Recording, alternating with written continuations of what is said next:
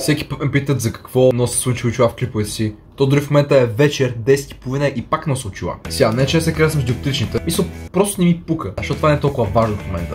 В момента е важно, че днешния клип ще определим коя е най-добрата FIFA от FIFA 13 до FIFA 22, защото това в момента е тирмейкъра. Опитах се да намеря от FIFA 9 до FIFA 22, не намерих, затова ще оценявам днес FIFA от FIFA 13 до FIFA 22. И така, на база на моето мнение и с тези всички FIFA, ще разберем коя е най-добрата FIFA, тъй като повече видеа с връщане от към FIFA не мисля да има, да мек няма да се връщам от FIFA 16 до FIFA 13. Не смятам това да го правя, затова правя и това видео. Мислех днес да се върна към FIFA 14, свалих играта на PC, обаче тръгва да крашва и да лага два пъти, престарираха, свалих я наново и загубих около 2 часа, в които нищо не направих. Та така, без повече да се бавим, ако това видео ви допада, може да го харесате и да се абонирате за каналът ми с кампанка, за да не изпускате всеки един мой клип тук нататък. Също така, ако искате, може да станете член, линк долу в описанието. Също така ще в TikTok видеа. Юзернейм е долу в описанието. Не мисля, че е имало видео, в което съм оценявал FIFA-те. И правил съм видео в TierMaker как съм оценявал DC и Marvel филми, но не съм оценявал FIFA игрите. Затова днес ще го направя. Но нека започна с FIFA 13. А, спомени. Спомня се как като малък на PS3 постоянно менте в FIFA 13. Дори когато имах FIFA 14, аз повече цъках FIFA 13, защото ако си спомняте менюто, менюто беше изключително готино. Кариерата също беше супер яката. Реално геймплеят е първо се развиваше, както всяка една FIFA. Но и в други FIFA реално отиваше на обратно геймплея.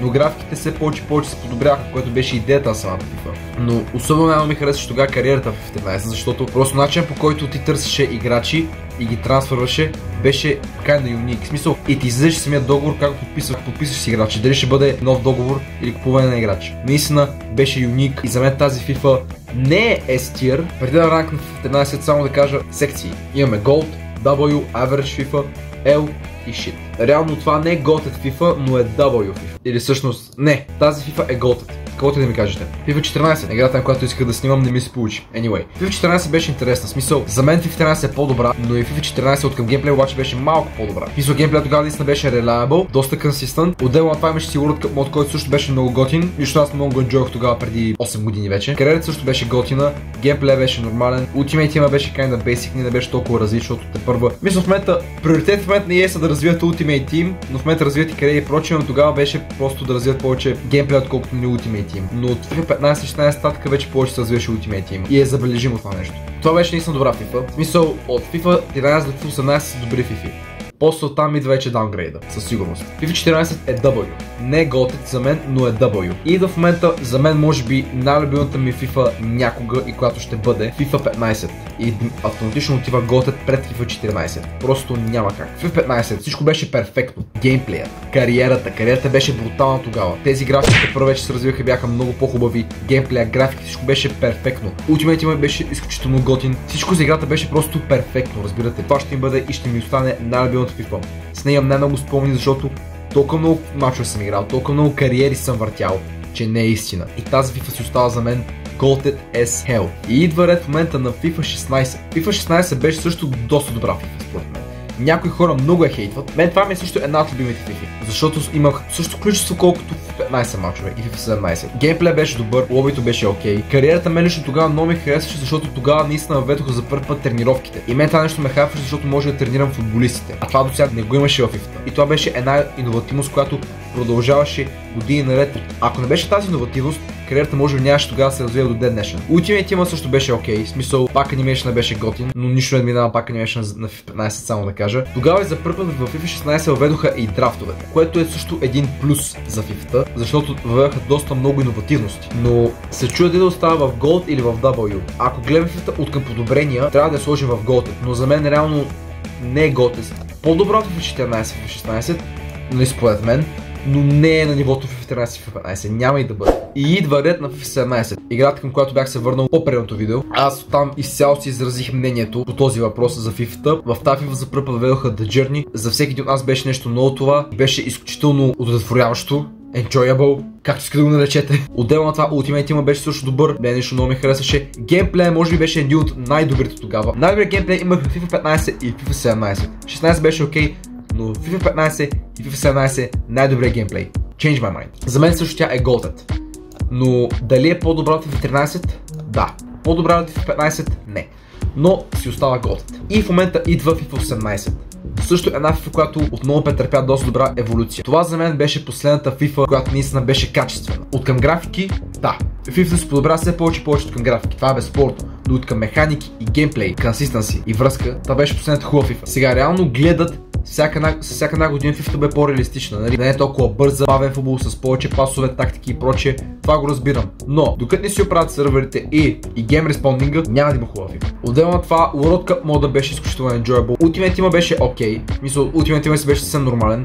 Повече Ultimate ми харесваше в 18, отколкото в 18. Но World Cup мода наистина беше нещо, което даде доста голям буст в 18. Кикофа беше също готин. Така че оставам го W FIFA. По-добра от FIFA 14. Не е по-добра FIFA 16, но наистина е една добра FIFA. И в момента идват тези FIFA, които не бяха може би най-интересните и най- как кажа, забавните от към геймплей и прочее. FIFA 19, реално шит FIFA тук не знам дали ще има. FIFA 19 е L за мен. Имам най-лоши спомени от тогава, защото геймплей изключително не беше реалистичен, много бъгове имаше и изобщо не ми харесваше. Когато искате ми говорете, за някой това е добра FIFA, лично за мен от към Experience не беше добра. А също така за FIFA 18. В FIFA 18 имаше сезон 2 на The Journey, което наистина беше също добро.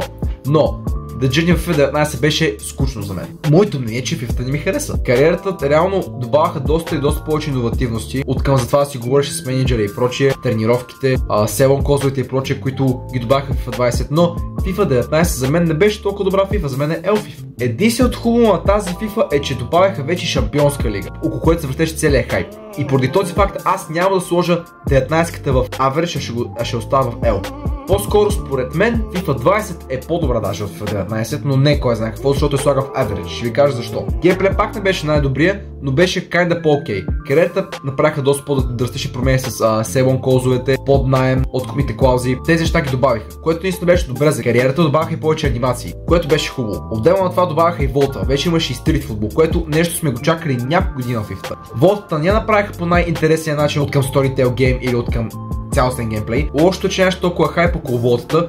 Мен тогава наистина ми хареса, но не играх толкова много за жалост. Даже за тази година цеха повече волта в FIFA 22, отколкото в FIFA 20. Просто защото почнах повече да ми допада. FIFA 20 не беше лоша, беше average играта. Затова оставам в средната стойност. Мисля по средата оставя. И в момента идват последните две издания на FIFA, които с нищо нали, специално не се отразяваха, освен с промени в Ultimate Team. Нещо, което съм забелязал с последните FIFA е, че правят доста по-големи промени в Ultimate Team от към сменето на дивизии, геймплей, правила, мачове в Champions, вече сезоните бяха Division Rivals, диха се дивизии на база на това колко мачи спечелил, какъв ранг си, това се променя и променя, както и в Champions. До, не до днешната FIFA, която е в 22. И е спорт успят да правят равномерно промени от към FIFA Ultimate Team, геймплея и кариерата, но, но всички знаем, че влагат повече усилия към промени в, FIFA, в Ultimate Team, въпреки че в FIFA 21 и от FIFA 20 насам малко повече бусти кариерата, за което се радвам, но Ultimate има до някъде провалят тази игра. Но до някъде се радвам, че кариерата в момента е по-релевант, защото по принцип предишните издания на FIFA като 19 и 20 кариерата толкова не се гледаше, а Ultimate Team. А на база на това, което гледам от към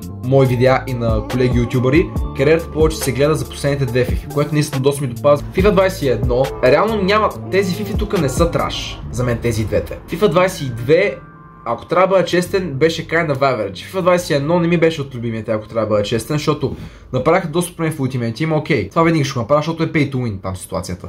Кариерата беше окей, направиха доста промени, но по едно време имаше бъгове. Но от към Experience пак ми беше най-любимият FIFA, затова ще го става в L. Тази годишна FIFA обаче беше малко по-окей спрямо FIFA 21. Нали, не е на същото ниво, което беше от към FIFA 2019, но пак е окей. Okay. В смисъл FIFA 22 беше окей okay FIFA. Искам само да кажа, че в FIFA 20 нататък няма такъв интерес от към FIFA. В смисъл всичко е еднотипно. Да, правят се много промени, за което аз се радвам, но изглеждат драстични, но реално не привличат толкова голям интерес. Дори от към доста драстични промени, които направиха, за мен остава average. Даже бих е сложил в L, но не беше толкова лошо. Аз съм играч на PlayStation 4 и има корена разлика от към PS5 и PS4, когато играеш в 22. Доста хора казват, че са доволни в FIFA, когато е на PS5, но на PS4 е съвсем по-различно, защото в момента се гледат по-скоро подобрено от към новите генерации на конзоли, което го разбирам. И доста хора ми хваляха в 22, че е добре на PS5. С по-хубави графики, по-хубави механики, цялостно ли говорим.